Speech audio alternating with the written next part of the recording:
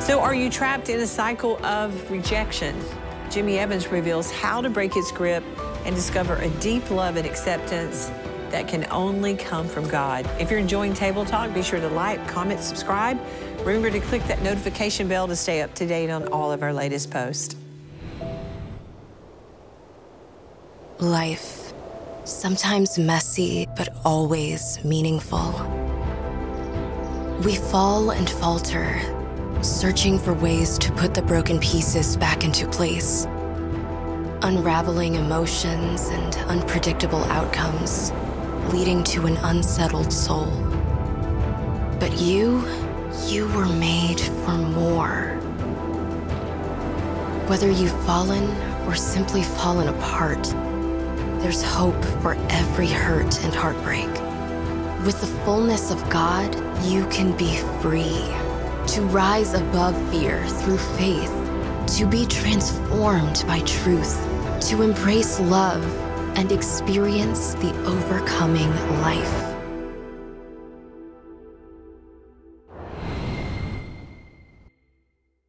Rejection, it has touched almost every person's life at one point or another, and oftentimes it can leave people imprisoned in fear and hurt, but you can be free from its grip. And today's guest is going to share more about that. But first, joining me around the table is your favorite subject, Haviland Ford. Oh, my goodness, my least favorite subject. But you know, rejection is one of those things that you you can see through the lenses of your life when you're not healed. Yeah. You can think someone's rejecting you and they're not. It's about your perspective. Oh. So it's Oh. something that I'm constantly making sure the rejection Good. check and learning how to overcome it in, in everyday life. That's good. Dorothy Newton, how are you? I'm good. I'm good. I'm trying to. I think this is going to be just lessons learned for me because honestly, I love, love, love people and care so much. Mm-hmm. But if you don't want me included, then that's okay. I don't. I don't experience rejection. Yeah. Wow. often. Okay, I'm gonna have to be completely opposite here Rachel Lamb Brown, my daughter. because to just be truly transparent, rejection is something I've struggled a lot with. Yeah. And so much so, I remember one of my besties in college. She used to say, "Rachel, don't think what people aren't thinking." And like I would already just anticipate the rejection before the rejection would even happen. And so I really had to learn how to, you know, not put thoughts in people's head that they might not even be thinking. Somebody used to say this saying to me, don't hear what I'm not saying. Exactly. That that as well. Yeah, don't hear what I'm not saying. So, Rebecca Lamb Weiss, rejection. This is important topic Yes. to talk about. I actually have a verse. Oh, a verse. Okay. Get it, girl. Can I read it? yeah, go ahead. Go ahead. No, this is just such a fundamental topic, and it affects, I think, more of us than we may even realize. But it, this is the solution.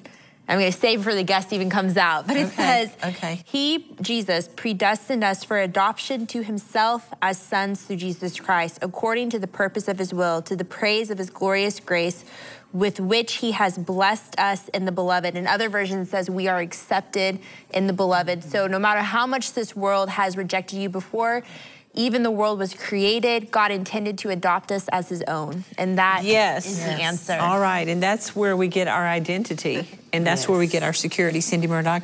This is going to be an amazing subject because I think, like some of them already said, there's times I perceived rejection Mm-hmm. out of maybe a person's behavior, body language, whatever, and it never really was. So Yeah. I've had to struggle sometimes with Yeah, that. well, we're going to talk about it. Well, he has helped countless uh, individuals and has been a bold voice for the gospel. And today he's here to talk about overcoming rejection. Please welcome our dear friend Jimmy Evans to the table. Sounds like you're traveling through a storm to come across the ways to, to bring us wisdom. I made it. All right, rejection. That I mean, it's a it's a huge word. It's so I mean, especially I think about this generation. How many young kids have experienced rejection in social media and just the things that they're, uh, you know, that they're around and that they're exposed to, and it is a big issue. I mean, for every age. Well, love is our greatest need. The absolute number one need of every human being on the planet is love. And because love is our greatest need, rejection is our greatest fear. Mm-hmm. It's also our number one scar. Now, when we did inner healing for people in the church I pastored for many years, and we would talk to them and just say, Tell us about your past and whatever. In almost every testimony, they would say rejection is the great, the greatest wound in my life, and it's the greatest control point. Yeah. Mm-hmm. So it's something that the devil uses to control us is the fear of rejection. And so uh, we have to remember going back in history, Jesus was the most rejected man in the history of the world. And so, you know, Jesus can identify with us and help to set us free. But we have to remember, first of all, Isaiah 53 3 says, He is despised, speaking of Jesus, and rejected by men. Well, Jesus was rejected by Joseph. Now, Joseph was not his father, but he was Mary's husband. And when Joseph heard that Mary was pregnant, he wanted to put her away. Then, when Jesus was born, Herod tried to kill him. King Herod tried to kill him. Then, in his hometown of Nazareth, when he went in and ministered in the synagogue, they took him to the brow of the hill and were going to throw him off a cliff. Uh, his family rejected him. They, they thought he went nuts when he went into the ministry. Judas rejected him. The Jewish leaders rejected him. The Jewish people rejected him. The same people that cried out Hosanna on Palm Sunday cried crucify him on Friday. And so uh, his father rejected him. God the Father on the cross turned his back on Jesus. And Jesus said, My God, my God, why have you forsaken me? Jesus, God forsook Jesus so he wouldn't ever forsake us. Jesus took our punishment on the cross, and part of our punishment was rejection. So Jesus, Jesus had this massive rejection, but it didn't change who he was. Jesus was still loving and gracious and kind and whatever. So rejection changes us. And this is the most dangerous thing about rejection is it takes who God made us to be. It turns us into people pleasers. Uh, they did a study of school shooters in 2003. They, they studied 15 school shooters and they found that 13 out of the 15 school shooters felt rejected. And that's where their anger came from. It's universal that every single person experiences it, every single person doesn't like it. Uh, and so we need to know how to deal with this so it doesn't change who we are. Yeah. As a young boy, you experienced rejection. Yeah. I, I experienced a lot of rejection. First of all, the part of rejection is being unwanted.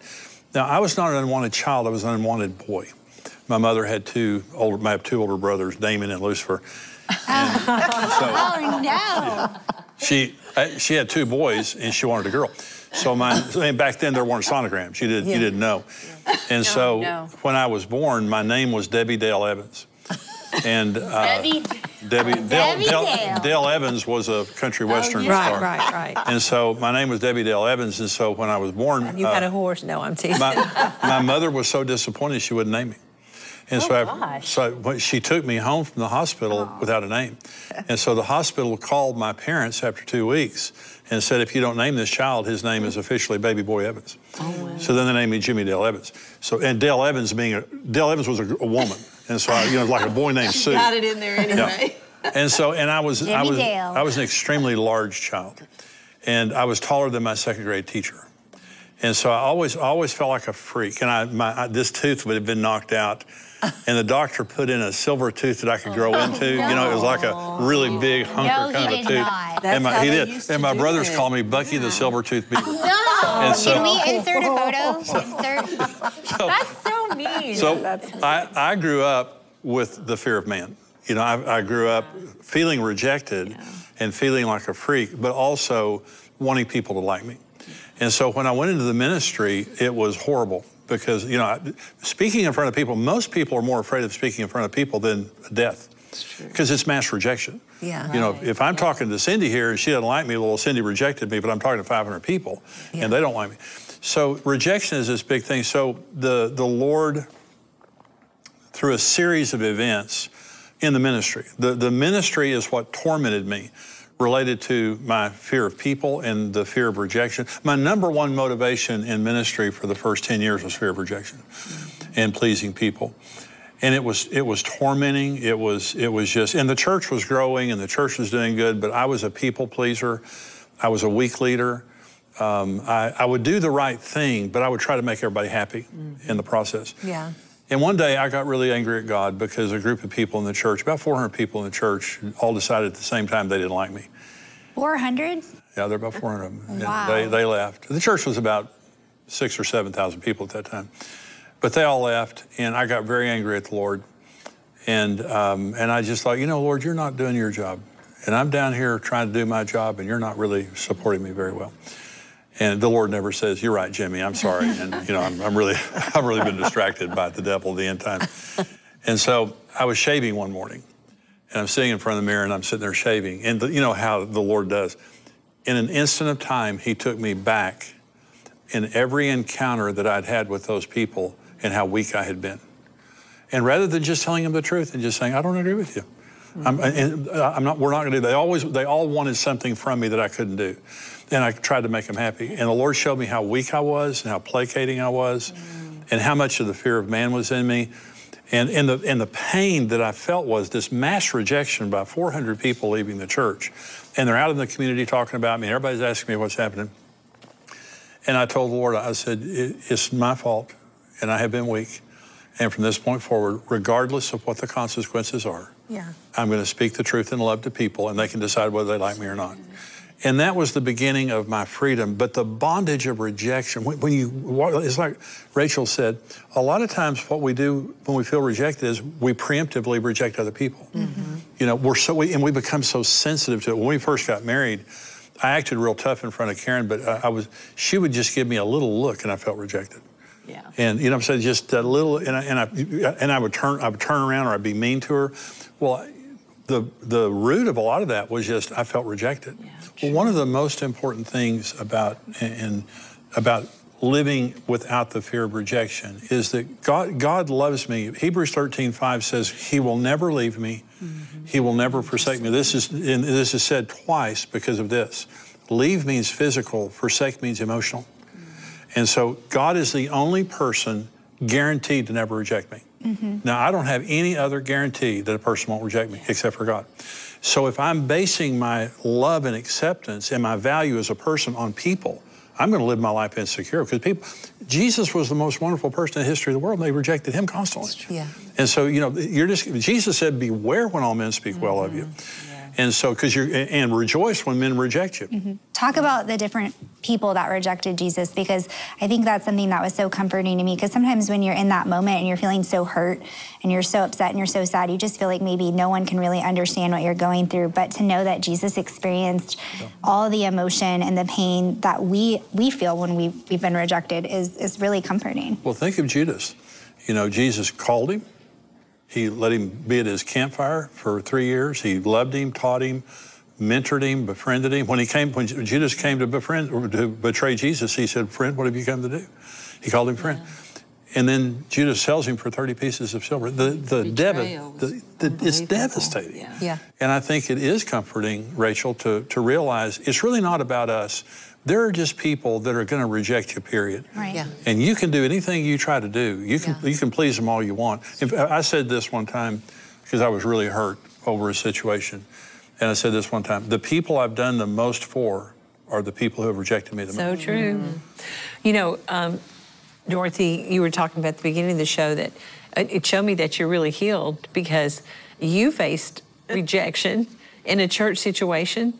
I mean, because you you talked to me about it. Yeah. I can, but you decided to forgive and allow the Lord to heal your heart. It took a little bit. Oh, it took some time. But when you It look now, like fast forward a couple of years later, mm-hmm. at what has happened to all the people that were involved with that, mm-hmm. and then you can see that God took care of it. And you don't want anything bad to come to people. Right, right. But the fact of the matter is, God is just. Yes. And when we ch- we choose to forgive, and then we allow God to heal, Yeah. and not allow rejection to sit on top of our heart. We can we can be healthy and whole again. That's right. And he constantly shows me every day that, Dorothy, it's okay. To remember, I was there from the beginning and I'm still there. Yeah. And to see everything unfold, I'm like, it's, it's just constant healing. But I think I protect myself from allowing it to be rejection Yeah. because I live without expectations. Yeah. If we're friends, I mm-hmm. don't expect anything. I just mm-hmm. I will be who I am and show up every day with who God made me to be. Now I still hurt. Yeah. And we can call it rejection and it definitely was the worst hurt I'd ever experienced. Wow. Yeah. But I have to still be who I am because Yeah. that's that's who God made me to Well, be. Well, that's because Jesus lives on the inside Yes, of you. yes. I mean, and so um, we wish everyone could have that kind of attitude where I'm not going to let rejection come in. Yeah. But how do people that are watching that have felt rejected, that have felt um, discontinued, that have felt left behind, how do they come out of it? Yeah, because rejection can quickly turn to bitterness, which can quickly turn to unforgiveness. We, we did the show. We did the show on forgiveness. You, you have to forgive. Let, let me go. Let me go a little different angle here for just a second because forgiveness is a massive part of this because we are going to get rejected. You have to base your who I am in the love of God, but you also have to have godly friends mm-hmm. that have godly standards. For, for example, you know the world standards are just how do you look?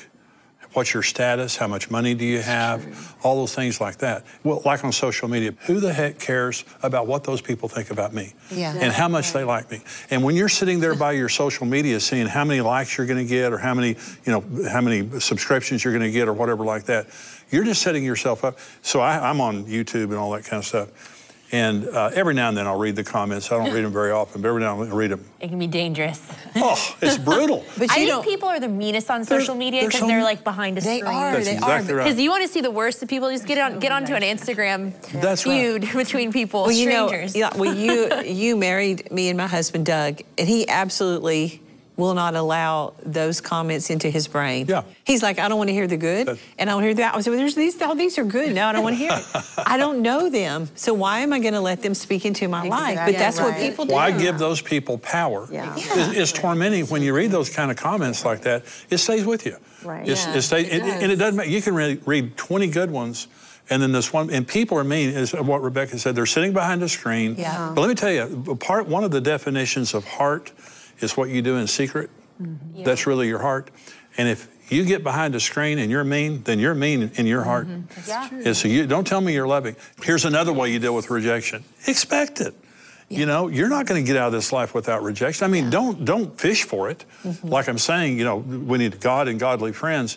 But Jesus said, Woe to you when all men, this is Luke 6, 626, woe to you when all men speak well for you, for so they did the fathers, the false prophets. This is Luke 6, 22.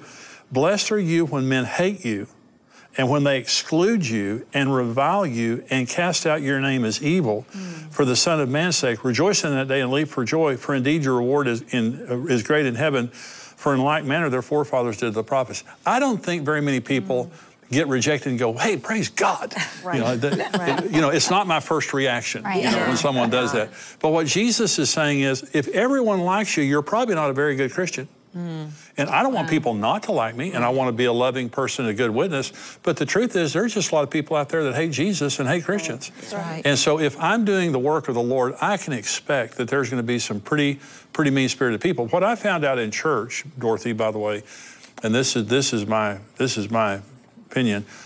I think 95% of church people are very sweet. Mm-hmm. I think 3% of them are not so sweet. I think about 2% of them are just evil. And they're the most hurtful, hateful people in the world. Church hurt is harder because we have a higher That's exactly expectation right. of them. That's Yeah. exactly right. So, you know, people out in the world, our expectation is this low. So when they do this much for us, they've done this much for us, but our expectation of people in the church is here. So when they've done this much for us, they've failed us by this much. And people get so focused on, like you said, that small percentage of people who are Right. hurtful. They Yeah. neglect the incredible majority of Right. believers That's who are right. the sweetest. the sweetest people in and the the best people to me in my life have always been believers. But Yeah. you know, the devil wants to put out a narrative Yeah. through offended people that the church is terrible and the people are hurting. And he sends wolves into the church That's right. to be hurtful in the That's first right. place. That's right. And so I think that's a good point is that you need to fo- you need to see the full picture and not just focus on the few Right. who are hurtful and the ones that are, we just have to forgive. Yeah, and have lower expectations and realizing that we are all imperfect and we're Right, all so broken true. and we're never going to get it right 100% can't of live the by time. the like button. Like you have a button can't. called like. Yeah. yeah. And you have a button called unlike. So you're building a whole generation on whether you exactly- like me, we call it generation like.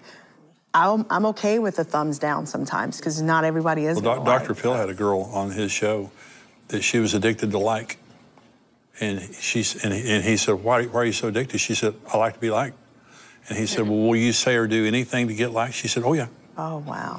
And so she would sit at her computer all day long and say things and do things that people would like.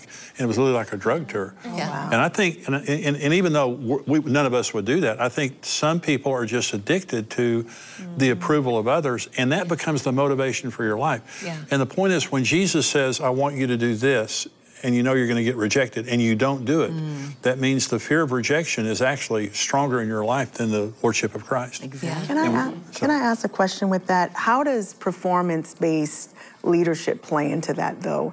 Because I feel like a lot of times in this generation, everything's based on what you bring to the table. Yeah. And we create this culture where you're striving to be liked, even in the church. How do you, how do you deal with that in in leadership? In, I, I think one of the most important things in leadership is relation-based leadership. See, it's like with children, is that you, if you don't discipline children relationally, if there's not a relational foundation for discipline, it's all performance, and it wounds that child. But if you have a relationship with a child and they know that you love them, then you, you can uh, expect certain things of them. If you have in a church or any setting, you have a leadership that is non-relational. I don't care about you. You're a warm body. Get over there and do that. Then what happens is that creates a, a very non-relational, performance-based uh, atmosphere where people lose their motivation because I'm just a I'm just a cog in the machinery. And I think that relation Jesus was relationship-based, and he got up at the Last Supper and he washed their feet and he said, "This is not the way the Gentiles are." But this is the way you're going to be. You're going to be the servant of all. So I think the spirit of the leadership has to be relational and servant hearted. And that creates the right kind. And, and, and do I have expectations of you? Yes. But it's relationship based. Yeah. And that's different. You know, I really feel like there are, are people watching right now that you have um, suffered great rejection. I mean, there have been things you, I mean, you're sitting there saying, you should hear my stories of the rejection that I've had to deal with. And uh, I want to say, first and foremost, that I empathize with you. And but more than anything else, I want to say that God loves you and He wants to heal your heart from that. And He wants to give you an, an identity that is based uh, in Him. And um, He can tell you who He has created you to be, and that's an overcomer. And He's created you for purpose, and He's not through with you. And you've been fed one line, but it's not the truth. So, Jimmy, I just really feel like right now, if we could just um, lead someone in the prayer of salvation, because again, uh, when we talk about rejection, we talk about forgiveness, we talk about any of these subjects, trying to achieve healing in those areas without that God shaped vacuum being filled on the inside of us is virtually impossible. And knowing that God accepts us. yeah. You know, is knowing that we're accepted by God and He, he is not performance based, He's grace based. Yeah, I'd be happy to. I want you, you know, I just want you, if you don't have a personal relationship with Jesus, I want you to pray this prayer with me. Lord Jesus, Lord Jesus, I open my heart to you I open my heart to you and I invite you to come in And I invite you to come in to be my Lord to be be my Lord and my Savior. and my Savior. Forgive me of my sins. Forgive me of my sins. Give me the gift of eternal life Give me the gift of eternal life. and fill me with your Holy Spirit. And fill me with your Holy Spirit. Give me the power to change Give me the power to change and to live for you. and to live for you. I commit the rest of my life I commit the rest of my life to you. To you. In Jesus' name, In Jesus' name. amen. Amen. You know, it, it's just that simple to, to pray a prayer out of a sincere heart and allow God to show up in your life in a way that will absolutely blow your mind. And I'm telling you, that's what's happened to you and will happen to you in the days ahead. Um, but for those that say, okay, well, I'm going to give Jesus a shot and I'm going to give God a shot, but I still feel this hurt and pain, what would you say to them? Psalm 107:20 says that God sent His word to heal them and to deliver them from their destruction. Now, my wife Karen, you know Karen very well, she was the most rejected uh, person I've ever met. Wow. uh, and she grew up in a very hostile uh, environment, verbally and otherwise. And she had no self-esteem. She was devastated. She was devastated. And she, we've been married 50 years. I've never known a day in our marriage where she didn't wake up and read the Bible. And she didn't believe it when she, when we were first uh, married. Uh, she believed the bad parts of judgment, but she didn't believe that God loved her. She didn't believe that she could be saved. She, I- take absolutely no credit for this whatsoever. She woke up and read the Word every day. See, the Word is living and alive. You read other books, the Bible reads you. And she woke up and read the Word. I saw the Word of God transform my wife, uh, changed her from being beaten down, rejected, no self esteem, to being strong, godly, uh, very uh, good self esteem by relationship with Jesus. And I think what you said, Joni, you can't underestimate knowing Jesus, prayer, the Word of God, those kinds of things. It's the foundation of how you become healed. People can be a part of that process, and good, godly people are a part of that process. Mm-hmm. But it has to be in, in God. I look at Karen today, and I don't know a stronger person on earth than her.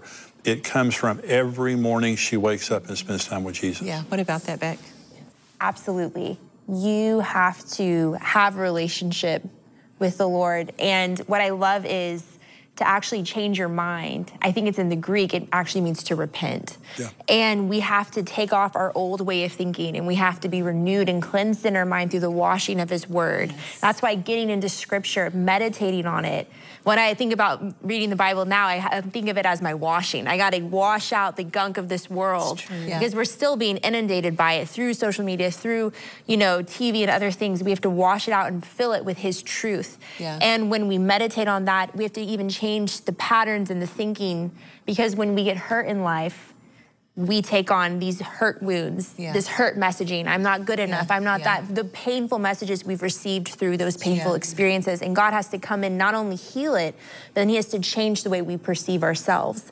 And so it's a process. And, the word- and it's through relationship with Him. So you got to crack open the Bible, but you got to ask the Holy Spirit to reveal it to you. That's right. That's right. And the, the Bible is just like some of you have one, but you haven't read it. You don't maybe understand it, I would I would encourage you to get a, a Bible that's written in a more modern vernacular. NLT.